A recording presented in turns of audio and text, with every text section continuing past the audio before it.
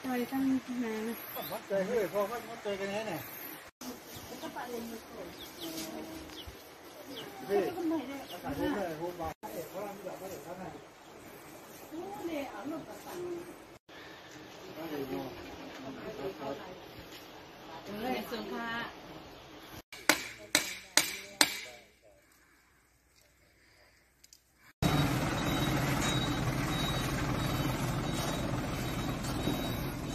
có này không?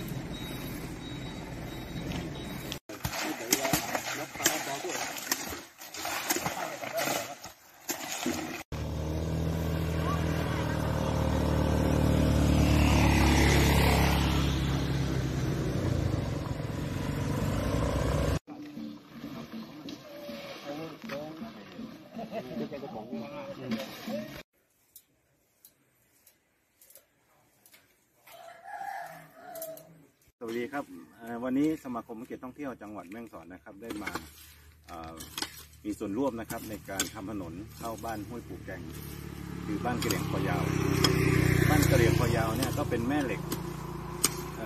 ตัวหนึ่งนะครับที่สามารถดึงนักท่องเที่ยวเข้ามาในจังหวัดแม่ฮ่องสอนนะครับ ก็เราก็ได้มีส่วนร่วมนะครับ เพื่อมาทำถนน ซึ่งหน้าฝนเนี่ยค่อนข้างจะยากลำบากสำหรับนักท่องเที่ยวนะครับ ที่จะเดินทางเข้ามาบ้านห้วยปูแกง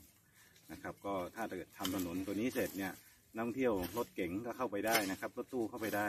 รถธรรมดาก็เข้าไปได้นะครับ ถ้าถ้าไม่ทำเนี่ยมีความจำเป็นมากต้องใช้โฟวินนะครับถึงจะเข้าในหมู่บ้านนี้ได้นะครับวันนี้เราภาคภูมิใจมากนะครับ ในสมาคมวิกิจท่องเที่ยวได้เข้ามามีส่วนร่วมและช่วยเหลือชุมชนบ้านห้วยปูแกงนะครับ